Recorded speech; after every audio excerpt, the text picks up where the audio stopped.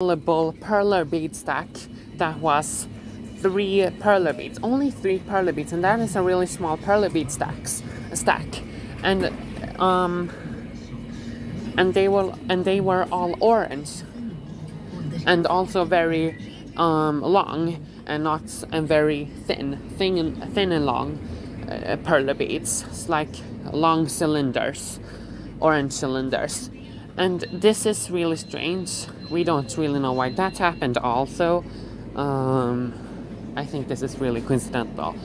Um, and then I wanted to talk about um, these lids, no, these caps with um, lines on them.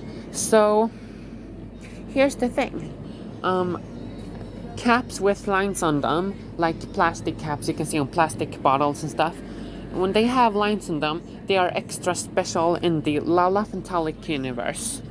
And we want to see more of these plastic lids slash caps. So you know the caps you get on like um, plastic bottles. And yeah that is really good when you see something like that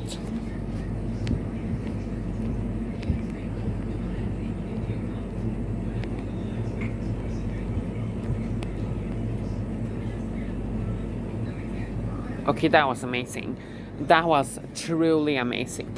And also, the long here's a fun fact. The longest friendship bracelet that was made in the Lalafantalic universe was two light years long. wow, I can say. This is a really long friendship bracelet. I cannot, uh, and there were not one knotter in in this friendship bracelet. Of course, it was like um, like billions of knotters making this friendship bracelet. So, and they are very fast knotters. And what I mean by knotter is like someone that uh, make the friendship bracelet. Like this, for example, is a friendship bracelet, and this one and this one. And these, so I have three friendship bracelets on my wrist right now, on arm or or or on my arm, or what you want to call it, call it. Um, so yeah.